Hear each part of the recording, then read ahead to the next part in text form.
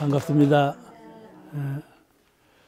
오늘은 공도편 제8장 8장 공부하시겠습니다. 8장은 음, 부단한 정신, 정, 정성, 끊임없는 쉼없는 정성과 또 주의심, 주의심을 가져야 공부와 사업에 성공할 수 있다. 그런 내용의 말씀이에요. 본문 한번 읽으시겠습니다. 8. 말씀하시기를 모든 사업의 성공과 파괴의 원인이 그 사업의 주인들의 존심과 방심에 달려 있나니 시종이 한결같이 꾸준한 정성심과 주의심을 놓지 않는 것이 존심이라. 이것이 성공의 원인이요. 좀 고생이 된다 하여 열이가 식거나 좀 오래되었다 하여 함부로 하는 것이 방심이라. 이것이 파괴의 원인이니라 부처님 사업을 하고 부처들 공부를 하는 우리는 부단한 정성과 끊임없는 주의심을 놓지 말고 영원히 퇴전치 않는 큰 성공을 거두도록 힘써야 할 것이니라.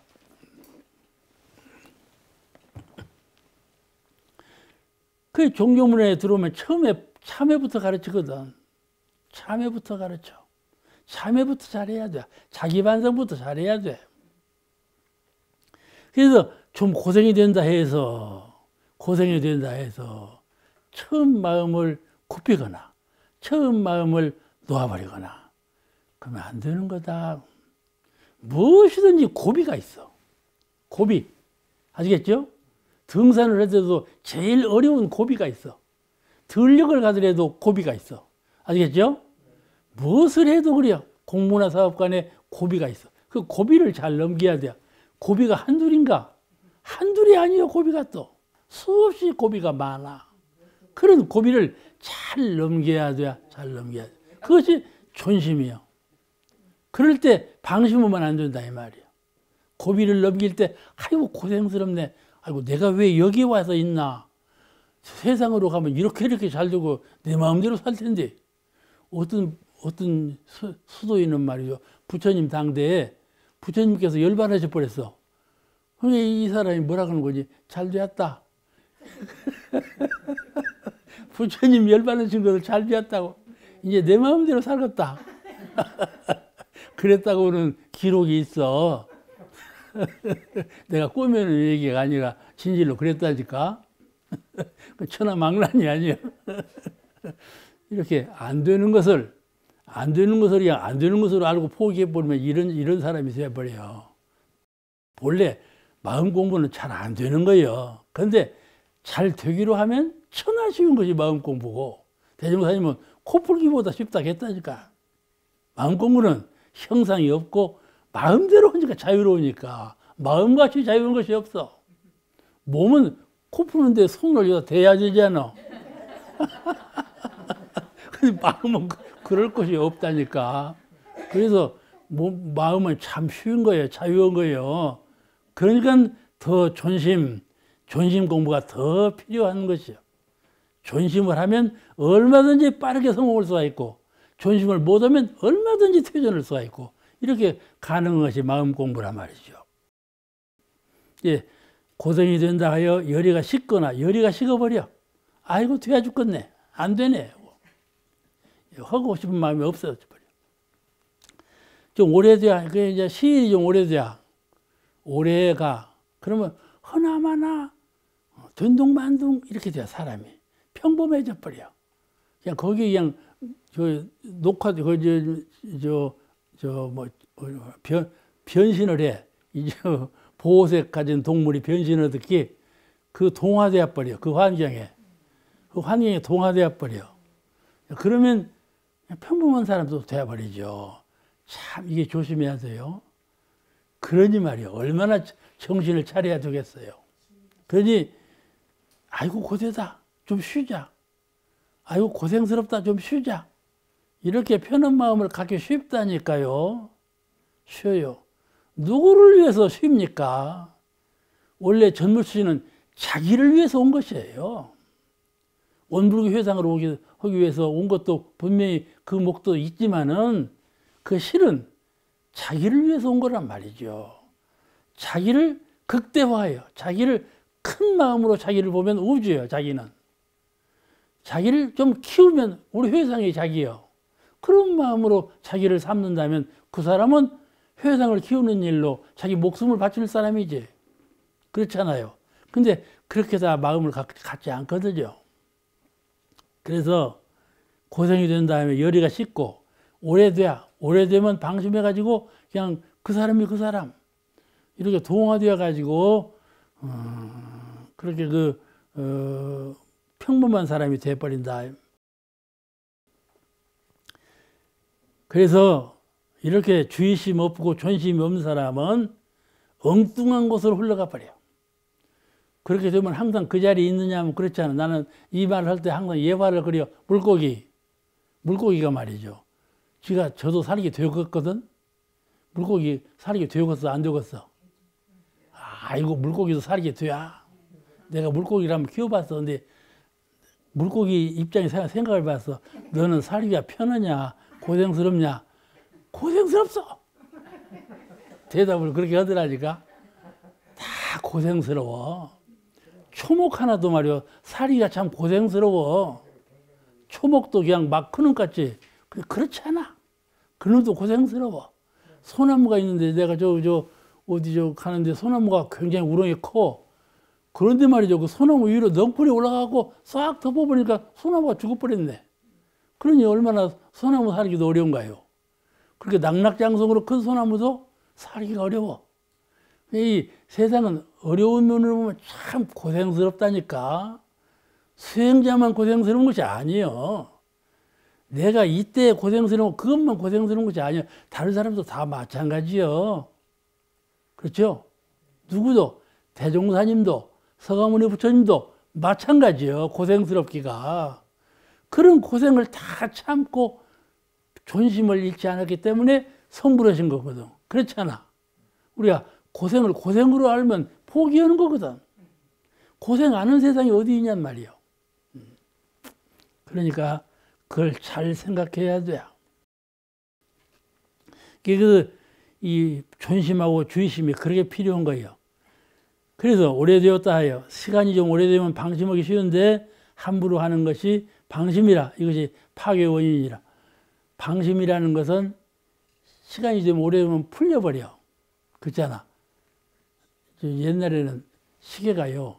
요새 전자시계지만은 옛날에는 테이프를 감았어 이렇게 테이프를 감하고 시가 돌아갔어요. 근데 테이프 감아놓고 가만두면 어째요? 테이프이 다 풀어져 버려. 풀어져 버리면서 이제 동력으로 가는 건데 테이프 다 풀어져 버려 봐봐. 그 시계 죽은 세계 아니야. 죽은 시계죠? 음. 그 테이프 풀어진 사람 같아. 테이프 풀어진 사람 같아. 얼굴도 말이요. 아침에 일어나 봐봐.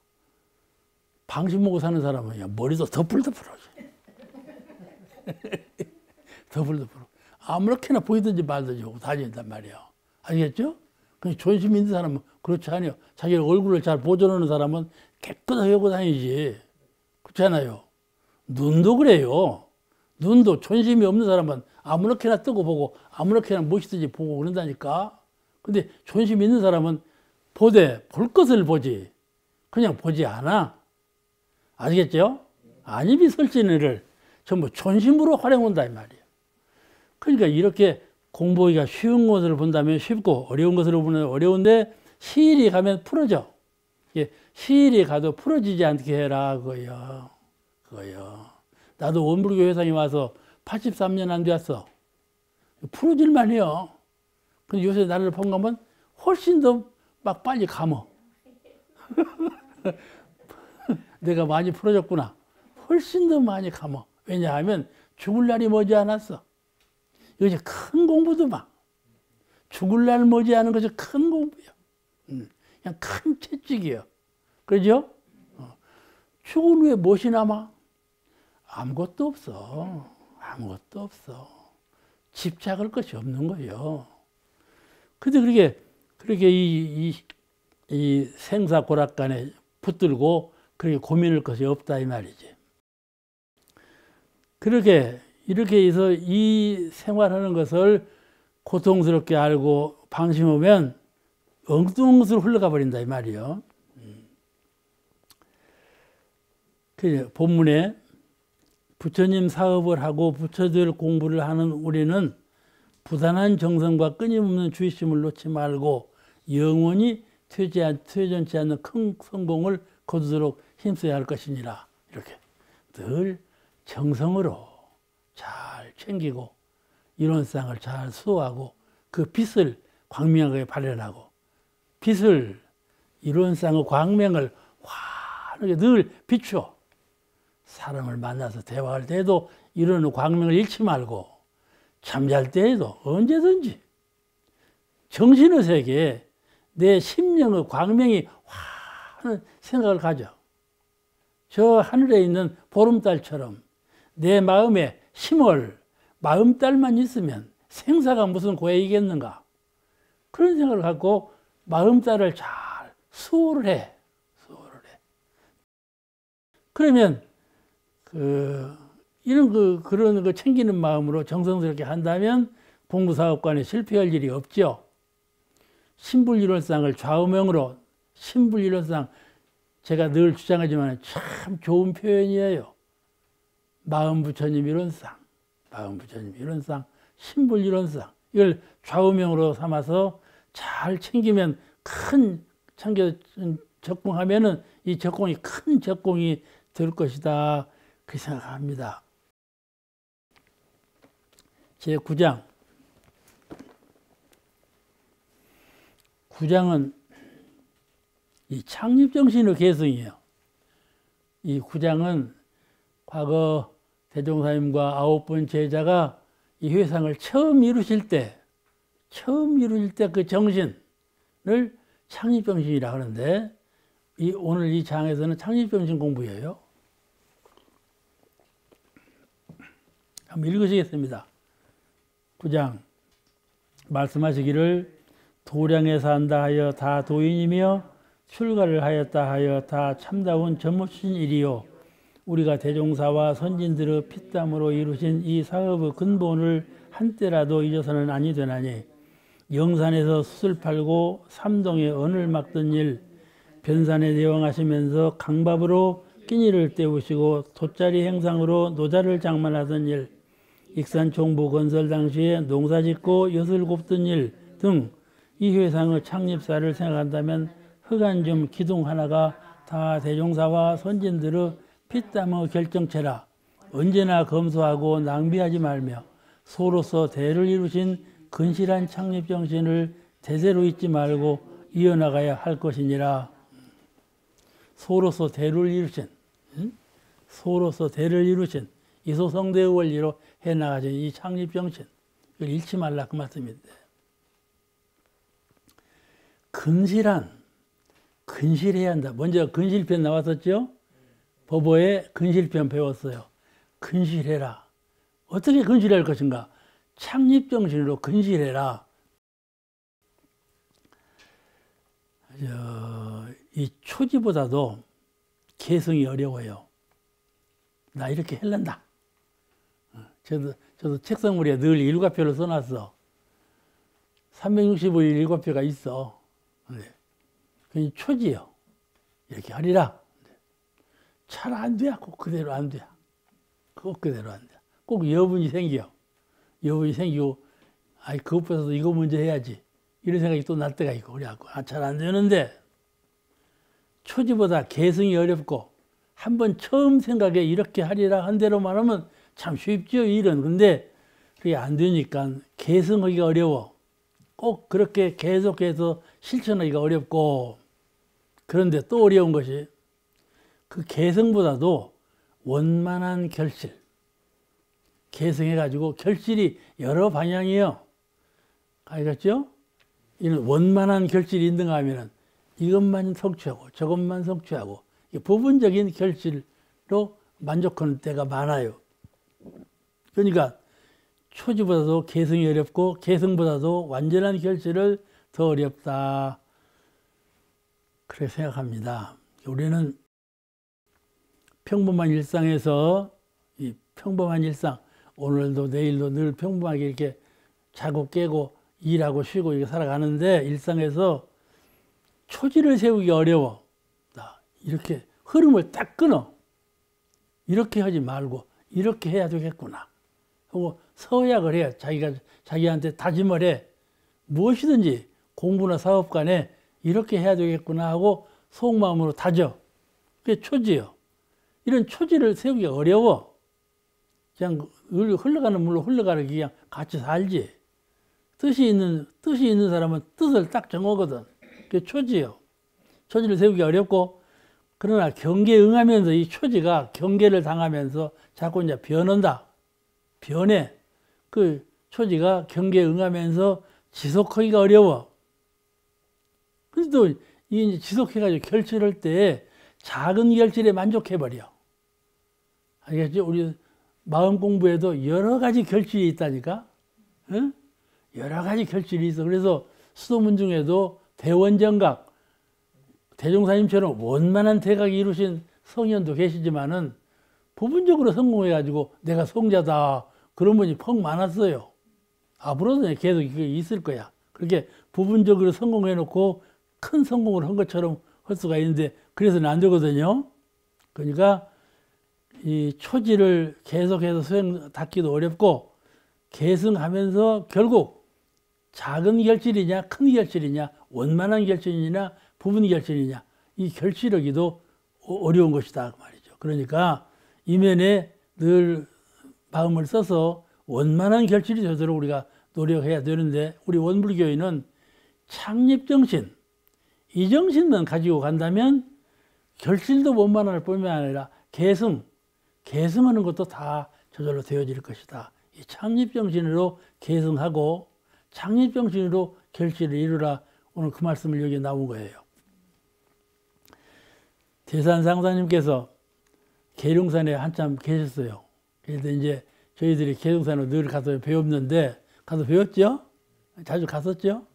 하는데 점심 하려고 서원 세우는 학생이 하나가 왔어. 개, 저 계곡에 나가갖고 이제 이제 그 추천하는 분이 대산 상사님께 인사를 하고 인사를 올려. 그러니까 대산 정사님께서 묻기를 환영하면서도 묻기를 이렇게 물으셔. 내가 평소에 살때한번 하기로 한 일을 끝까지 결실을 본 일이 있냐? 물으셔. 뭔 일이든지 한번 내가 하기로 한 일을 끝까지 잘 결실을 한 일이 있냐? 물으셔. 그러니까 아, 이 뜻밖에도 이 학생이 대답을 못하고 있어. 대답을 못해. 그러니까 전체 분위기가 숙연해지더라고. 아시겠죠? 그 대산 종사님 범, 질문이 학생에만 떨어지는 질문이 아니에요. 그 전체 조물주한테 딱 짚어주는 말씀이거든. 그러니까 숙연해지지. 그렇잖아요. 음. 참 어려워요. 끝까지 성공한다는 것이 그리 쉬운 일이 아니에요. 초창기 창립정신이 나하고 무슨 관계가 있겠는가 이렇게 대답하는 사람이 많아요. 지금 말이죠. 근검해라 그러면 그 예를 초창기 창립정신에 되거든. 초창기에 이래 이래 했다. 그래 너도 좀 그, 근검해라. 절약하고 이렇게 해라 그때는 그때고 지금은 지금이지. 이렇게 말한다니까. 지금이 어느 시대인데 이렇게 대답해 버린다니까. 아시겠죠? 어. 지금 그렇게 해서 누가 살겠냐고. 그러게 말이에요.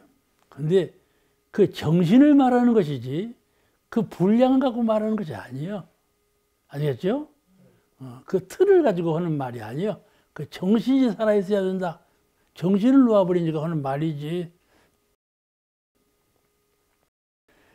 그래서 어, 그 초창기의 창립 정신이 내가 성불하는데 가장 근본 정신이 되어야 되고 내가 원불교 회상을 키우는 공도 사업을 하는데 가장 근본 정신이 되어야 원불교 사업이 뜻대로 이루어지는 것이고 원불교적인 공부가 뜻대로 이루어지는 것이다. 창립 정신에 기초를 두지 아니하면 공부나 사업 간에 이루어지지 않는다. 그 말씀이거든요. 예, 정신을 가지고 있어야 한다. 제가 늘 말해요. 뜰 앞에 마당을 쓸 때 그 정신 문제예요. 아시겠죠? 내가 마당을 쓰는데 어떤 분이 인사는 코앞에, 코앞밖에 몰라. 내가 정화가 나무만 쓸었다. 그 정화가 나무 큰 나무 두 나무가 있어서 그 두 나무를 쓸어, 쓰고 그거 그거 쓰기도 그냥 고생스러워 죽겠는데 그게 누가 이제 쓴다고 찬양을 해요. 그러게 옆에 듣던 분이 인사는 코앞에밖에 몰라. 그렇게 대답을 하더란 말이에요. 그냥 그분이 그분한테 하는 말이 코앞만 쓸어도 다행이지. 코앞도 안 쓰는 사람이 있다 이 말이요. 나는 그렇게 대답 않고 그러면 달나라까지 쓰려야 되겠네. 이렇게 대답을 했어. 아시겠죠? 아시겠죠? 코앞만 안 쓰려면 달나라까지 쓰려야 할 것 아니요. 어, 정신을 봐야지. 그 사람은 정신을 봐야지. 마당 한번 쓰는 것이 쓰는 것이 목적이 무엇인가 하는 그 정신이 문제지. 얼마만큼 마당을 쓸었는가 문제가 아니다 그 말이야. 그렇잖아요? 오늘 쓰고 형편이 없어 내일 쓰 내일 못 쓰고 형편이 다 모레도 못 쓰고 해서 해도 간혹 한 번 쓸어도 그 쓰는 정신이 창립 정신에 의한 것이라면 그건 충분히 모범이 될 만한 일이고 아시겠잖아요? 그런 거예요. 정신이 깨어있지 않으면 아무것도 소용이 없어요.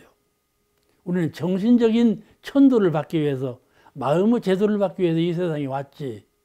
그 마음 제도를 받기 위한 것이 아니라면 뭐로 하겠어요? 그렇잖아요.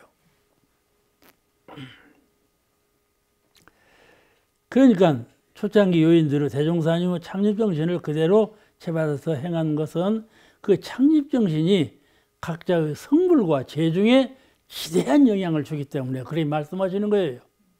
창립정신을 가져라. 대종사님께서 제자를 기릴 때 정신으로 키우셨거든. 아시겠죠?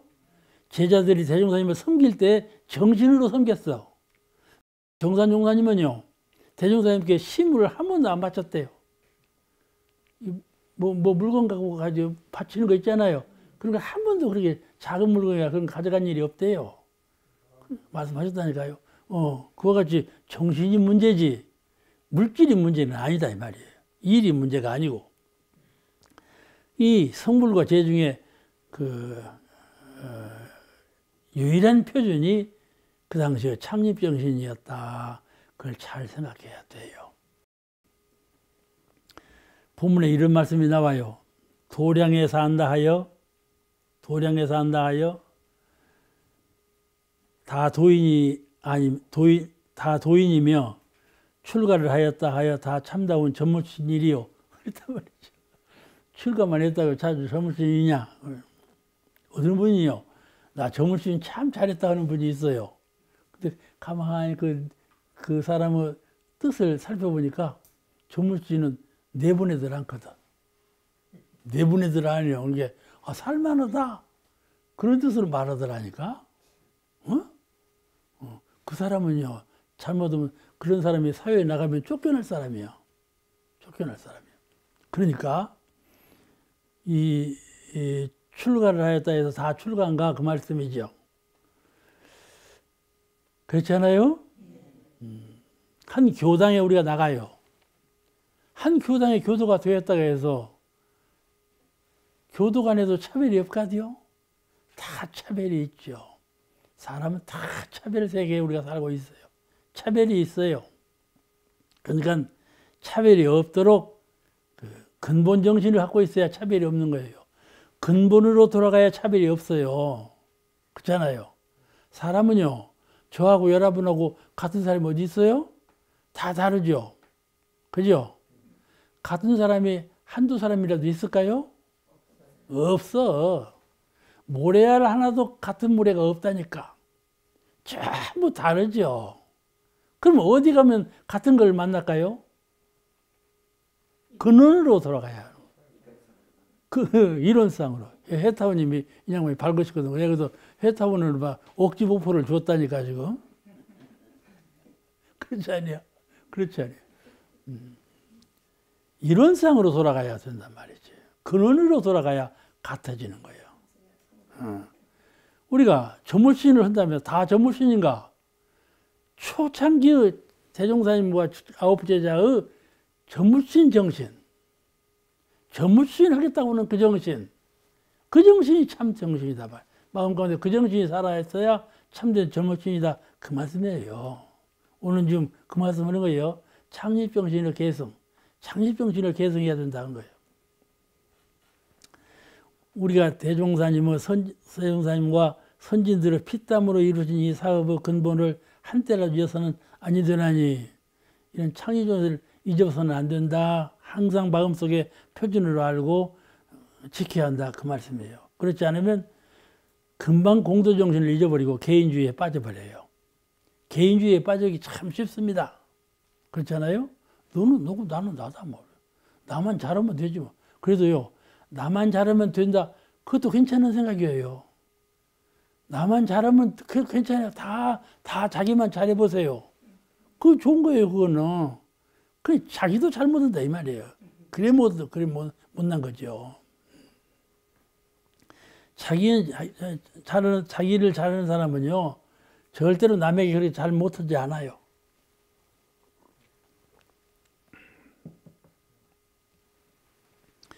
대중 속에서 자칫 잘못하면 회상을 위한 공도정신을 잊어버리고 개인주의에 빠져들기 참 쉬워요. 근데 공도 정신을 잊어버린데 그치지 않아, 또. 수화는 공부심까지 놓아버려. 정무신은 봉공사업으로 무화봉공 공도사업을 하죠. 그 정신만 놓아버리는 것이 아니요. 기본적으로 마음 공부는 공부하는 정신도 놔버린다니까요. 아시겠죠? 어. 공부나 사업 간에 사업에 진정한 마음을 놔버리면요. 공부심도 떨어져 버리고 공부하는데 진정한 마음을 놔버리면 사업하는데도 마음이 떨어져 버리고 그런 거예요. 둘이 아니에요. 목, 목전 일대만 몰두하면 안 되죠. 근데 여기 이제 본문에 이렇게 나와요.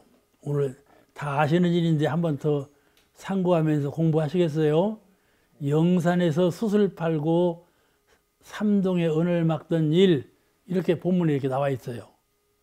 영산에서 수술 팔고 영산에서 어떻게 수술 팔았는 거니? 다 알죠? 숫장사 했다는 거.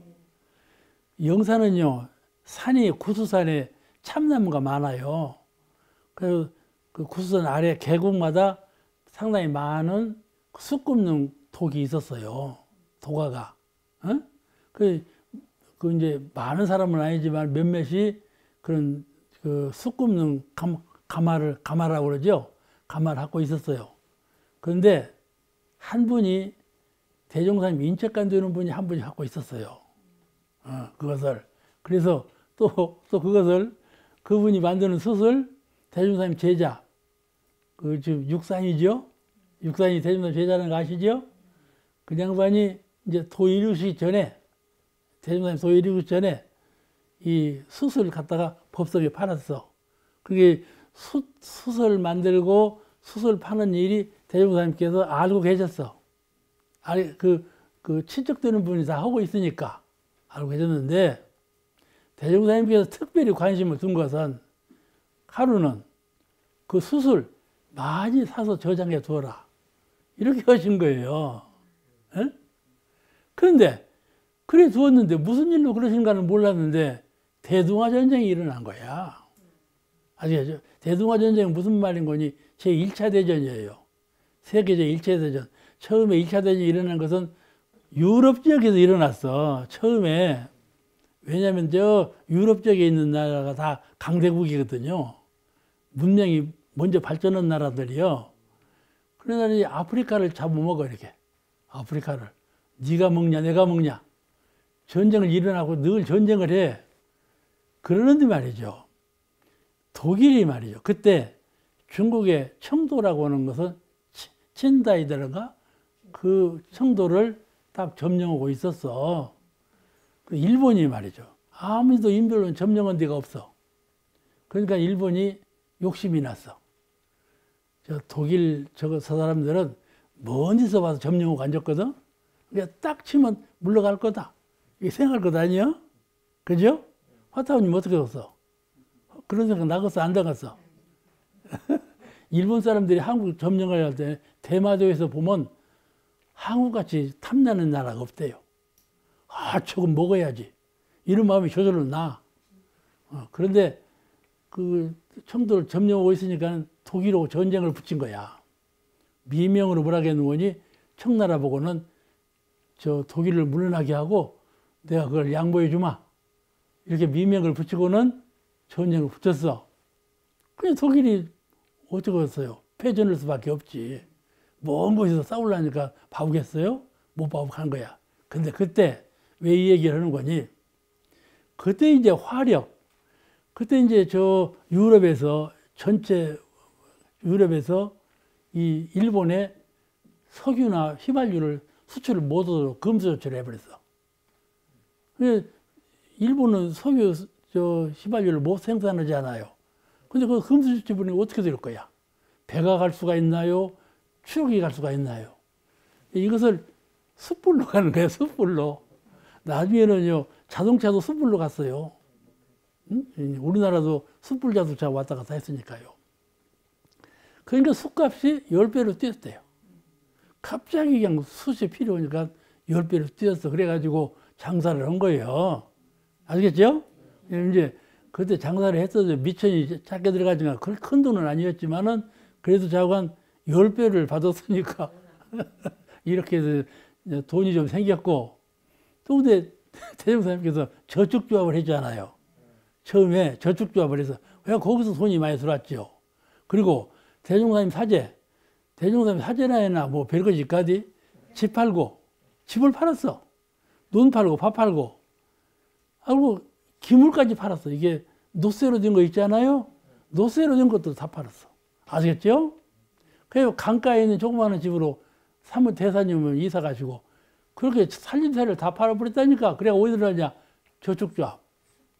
누갔고 그 저축조합에서 숯 팔고 대중사님 사제 보태고 저축조합에서 기금 나오고 한 돈으로 방언공사를 한 거야. 아시겠죠? 방언공사를 한 거야. 그 방언공사를 지금 성공시켰잖아요. 그때 아무도 못하는 그런 큰 사업을 한 거예요. 2차 방언공사까지 해서 이제 6만 8천 평이라는 큰 땅이 되었지만 처음에는 그리 안 했죠. 처음에는 4만 1천 평이었어. 처음에 박은 땅은 4만 1천 평인데 다음에 더 확장 공사를 해서 6만 8천 평이 됐거든요. 이렇게 방언공사를 한 것이 그 당시에 그 참 절약을 하고 예, 대, 예, 작은 돈을 모아고 우리가 회상을 이루는데 이렇게 해야 되겠다 이거죠. 옛날 수도인들은요 신통을 했어요. 신통을 하면 막 사람들이 돈을 갖다 받잖아. 아시겠죠? 신통만 하면 막 돈을 갖다 바쳤어요. 그렇게 해서 종교를 만들었어요. 그리고 그렇게 만들어진 사교가 되었죠.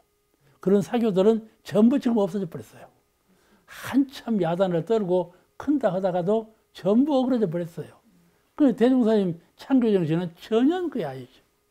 전혀 신통을 완전히 배제해 버리고 아시겠죠? 이소성대의 진리로 그대로 하신 것이죠. 대종사님이 일대기를 보면요. 세계 대전이 일어나기 일어날 때 그때 태어나셔 갖고 오셔 갖고 세계 대전이 다 끝날 때 그때 열반하셨어요. 이 혼탁한 세상을 제도로 하기 위해서 오신 어른이 대종사님이에요. 아시겠죠?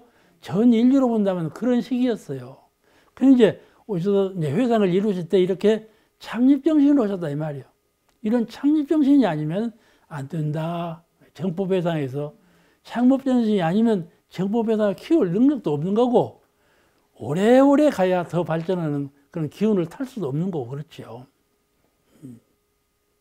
근데 숫장사는 그렇게 했고 다음에 뭐라고 나오는 거니? 변산에 내왕하시면서 그 다음에 은 막으시고 다음에 이제 제법 법을 만들고 제법 성지로 가셨잖아.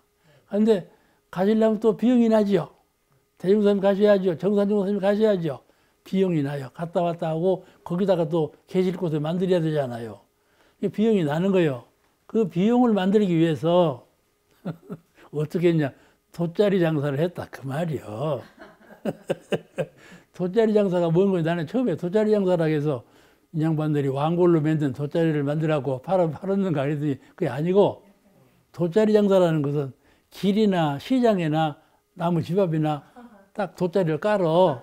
그래놓고 이제 그래서 물품을 놓고 파는 것이 돗자리 장사요. 그런 장사를 그 제자들이 했다 그 말이요. 음. 그렇게 해서 기금을 모은 것이 원불교를 키웠다니까. 지금 이렇게 됐다니까. 그렇잖아요? 이게 조실도 봐. 우리 종보분도 가보면 기둥이 삐뚤삐뚤해요. 이게 반듯한 기둥이 하나도 없어요. 그렇게 집을 지어놓고도 큰 집 지었다고 했잖아요. 어. 이렇게 이소성대로 했어요. 모든 것을. 이게 이제, 그러면 이제, 그러니까 이제, 그렇게 이제 월병암, 칠상사, 초당, 이렇게 가시면서 이제 원불 교법을 다 창제하신 것이죠. 그 다음에 익산정보건설. 익산정보건설도 그때 그냥 공동묘지요. 공동묘지인데 묘지가 오래 가갖고 이렇게 묘지가 오래 가면 다 허물어져 갖고 풀이 나든가 말든가 뭐 땅으로 있는 그런 묘지 있죠. 그런 묘지가 다문다면 있었어. 주인 없어. 전체가 다 주인이 없어. 그런 묘지를 개발해갖고 정부를 만든 거예요. 쉽게 말하자면 제일 싼 땅이에요. 제일 싼 땅.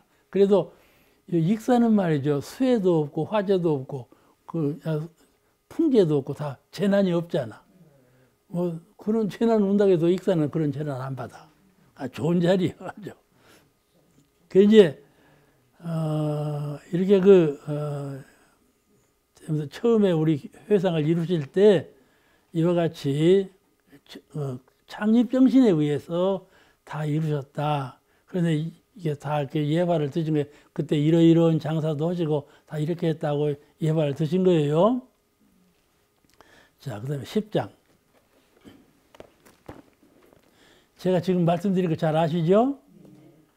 돈이 10원이냐 1억이냐가 문제가 아니고 10원을 내도 그가 창립정신으로 냈느냐 10억을 내도 정신에서 벗어나고 냈느냐 그것이 문제가 된다. 왜냐하면 창립정신으로 낸 10억은 10원은 다음에 10억 아니라 100억도 능가하는 것이지만 창립정신이 결여된 100억은 다음에 또 다른 것으로 바꾸자 하고 손실돼 버린다 이 말이에요.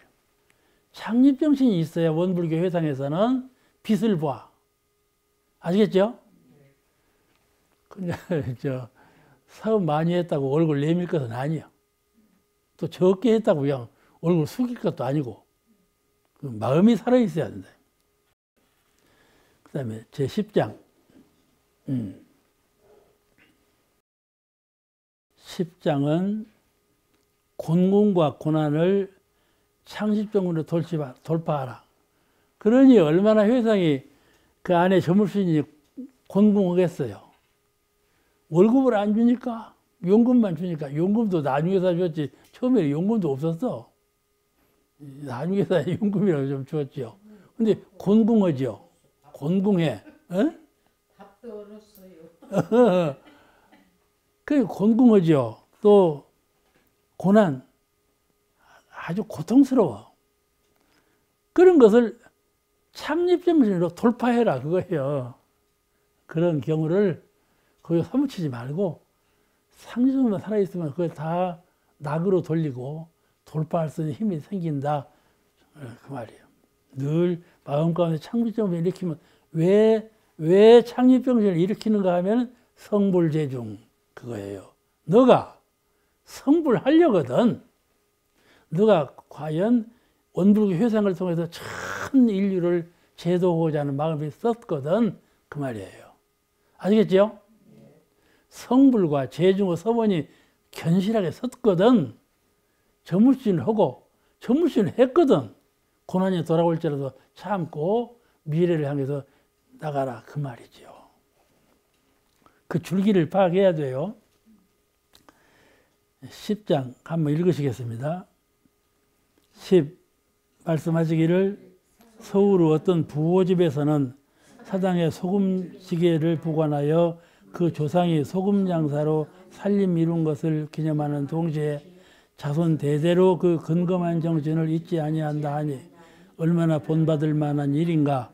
우리 회상도 대종사와 구인 선진들의 근검하신 혈성으로 이루어진 이 사업의 근본을 한때라도 잊어서는 아니되나니 어떠한 곤곤과 고난이라도 창립 초기의 가난하던 때를 추모하여 무난히 즐겁게 돌파하여야 영원히 위상을 발전하리라 이 말씀이죠.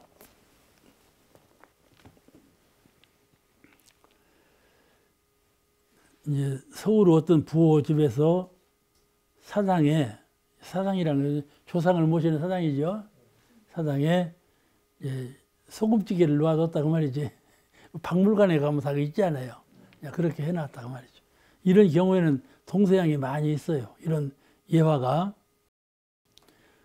그 이제 소금 장사로 처음에 소금 장사로 살림을 이루었다. 그걸 기념하기 위해서 했다. 어떤 분이 그래요. 어머니를 생각하는 거야. 또 자기 아버지를 생각하는 거야.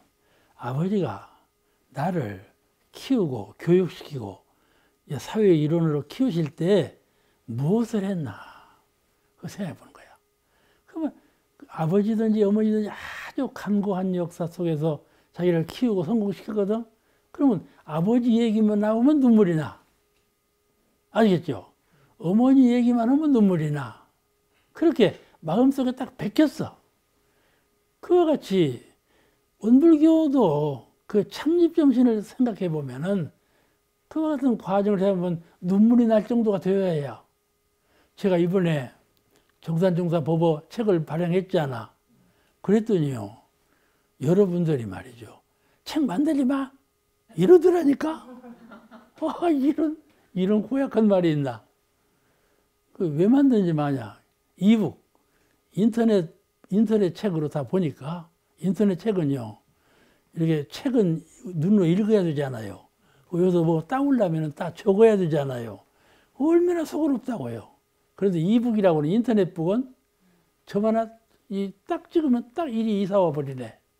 그래갖고 저만 하나 딱 찍으면 프린트가 돼버려. 그러니 얼마나 활용이 잘 되겠어요. 아무 수고 없이 여기 책을 갖다 여기서 딱 떠먹고 이렇게 하거든. 그러니까 이북만 본다 그 말이에요. 요새 사람들은 그렇게 전자 전자책만 봐. 근데 뭐들로 책을 만드냐 그 말이요. 내가 딱 무시해 버렸지. 무시해 버렸어. 그냥 책을 발행을 했다. 그랬더니 말이죠. 이제 첨부 발행을 했는데 첨부가 다 나갔어. 잠깐 첨부 발행에 첨부 다 나간 것은 기적이래요. 어, 그런데 말이죠. 그 상, 그 상당수가 원로, 수도원으로 갔거든. 근데 수도원에서 나이 많이 드신 96세 이상 된 수도 어른들이 계셔요. 그 어른들은 전부 정산동사님을 아버지처럼 모시고 살았던 분들이에요. 그런 분들 말이죠. 저한테 전화를 하셨어. 아이고, 인산, 그 책을 보니까 눈물이 나. 그러더라고. 아시겠죠? 정산종사님을 배운 것처럼 눈물이 난다. 그 아, 아들, 딸들이 말이죠. 아버지, 어머니를 생각할 때 눈물이 나는 것은 그 은혜를 이렇게 아주 절실하게 느끼기 때문에 그러는 거예요. 이 수도원의 어른들은 그렇더라니까. 어, 그렇게 감회가 다른 거예요. 책한 권을 대해도 감회가 달라. 그렇게 감상적으로, 감동적으로 책을 봐야지. 책 발행하지 마. 이게 뭐 구성 없는 말이냐, 이 말이야. 그렇잖아요. 그 이제 2권도 곧 나올 거예요. 이제 하권도 곧 나올 판이요. 그런데 이제 하고는 누가 그런 말 안 할 거야. 상권에 성공했으니까. 어, 하고는 그런 말 안 나올 거라 나 믿고 있어요. 이제 이와 같이 그때 했던 일을 기념하기 위해서 해놓은 것처럼 해놓은 것처럼 그때의 일을 우리가 늘 기념적으로 표준적으로 마음속에 두고 있어야만이 이 회상이 계속 발전해 나가는 것이다. 그 정신이 살아있어야 회상이 사는 거다. 그 말씀이에요. 그저, 저도 아버님이 대봉도시에요. 어머님이 정사시고, 그러니까, 가만히 어머니를 생각해 보니까, 아, 막 소나기가 쏟아지는 날도 복숭아 과수원으로 가시거든요. 소나기가 쏟아지는 날도 고구마 밭으로 가시거든요. 그런 거딱 인상이 남아있다고 어머님을 생각하면 그 생각이 나네. 아시겠죠? 그러니까 전물신 해가지고 전물신 답지 못하면 그 이제 불이 오는 것이죠. 그렇잖아요? 어. 그 정신이 오히려 훨씬 더 나를 키우더라니까. 이런 이제 책을 보고 읽을 때 나를 키우는 것이 아니라 어머니를 생각하면 아이고 내가 이래서면 안 되지. 이렇게 내- 내가 성장하더라 이 말이야. 그렇지 우리 원불 교단도 마찬가지라 이 말이야. 창립 정신을 생각하면 자기를 키우는데 이론상 진리도 아니고 사은사요 삼학팔자도 아니지만 창립 정신이 나를 이론상을 깨닫게 하고 사은의 은혜를 보답하게 하고 이렇게 된다 그 말이에요. 그러지 않습니까? 그러죠? 어, 그 정신을 채받아야 된다 그런 말씀이에요. 그 정신만 있으면 이 고난과 곤공을 다 돌파할 수가 있다. 그래서 이제 제일 안 할 말은 그때는 그때고 우리는 우리 우리 때지 뭐 이때는 이때야. 이런 말은 하면 안 돼. 하면 안 돼. 아시겠죠? 누가 뭐 그런 말을 하면 그때는 그때고 이때는 이때지. 세상 모르는 말이지. 쓰겠어? 어느 분이 와서 말이죠. 제 방에 왔어. 공양을 아, 그 전에 당신이 공양을 할랜대요. 그래서 공양해 준다래 기쁘게 가야죠. 공양 할란다고 하니까 가니 공양을 받았어요. 받았는데 한 일주일 후에 제 방에 왔어요. 누군가가 와갖고 나보고 공양을 또 하래요. 뭔 공양? 전이 받았으니까 인사도 해. 그러더라니까요. 그래서 말이죠. 내가 박절한 말로 난 안 해.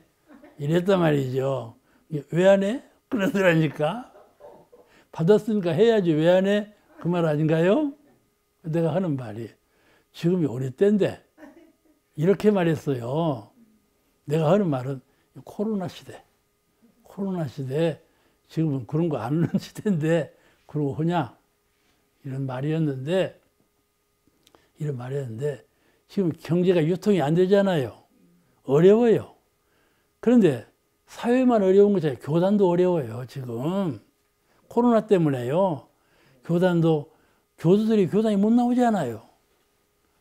유지하기가 어렵고 교단 수를 확보하기도 어려운 시절이 됐어요. 지금. 그래 이런 어려운 것을 그냥 건성으로 지내면 정신 빠지는 것이죠. 그렇잖아요. 훨씬 더 우리가 각성해야 될 시기에 그렇게 회의하면 안 되지 않겠어요. 난 그런 얘기를 한 건데 그냥 두말 없이 그분이 가버리더라니까. 그런 일이 있었는데 우리가 말이죠. 이 아무것도 아는 일에 평범한 정신을 쓰면 평범한 사람이에요. 평범한 일을 당해서 비범한 정신을 써야 그분이 창립 정신을 이어가는 분이 되지 비범하지 아니하면 안 된다 그 말이죠. 그렇지 않겠어요? 예, 비범해야 돼요. 비범이라는 말은 평범하지 않다 그 말이에요. 창립 정신이 살아있는 분은 평범하지 않다 그 말이에요. 그렇잖아요? 평범하게 그냥 묻혀 살면 안 돼요. 그러면 그분은 성부를 못해요. 아주 성부를 못해요.